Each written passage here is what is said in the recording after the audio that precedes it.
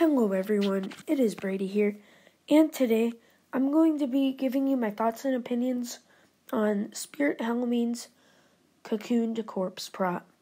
Now, I now don't get me wrong. I do think this is a very cool prop. Like, super realistic. The audio, the movement, the spiders looked plastic to me at first, but then I realized that they're kind of like I don't really know what they're made out of, but now I can see that they're not plastic.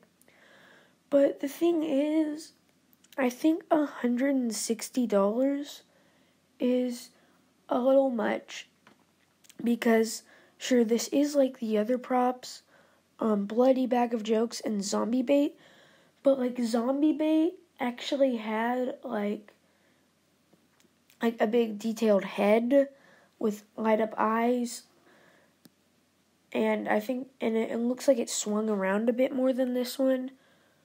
But who knows? Spirit Halloween could have just gotten one that doesn't swing too much just to make it look realistic because I don't, I don't really know. But then, oops, sorry, zombie bait. I mean, bloody bag of jokes. Wait, was okay? I was just talking about zombie bait. Sorry, but bloody bag of jokes.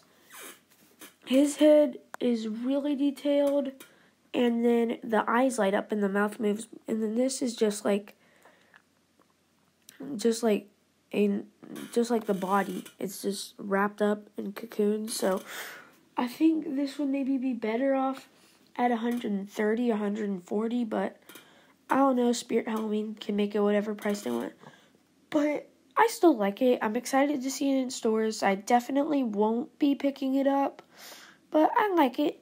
I like it Here's a clip.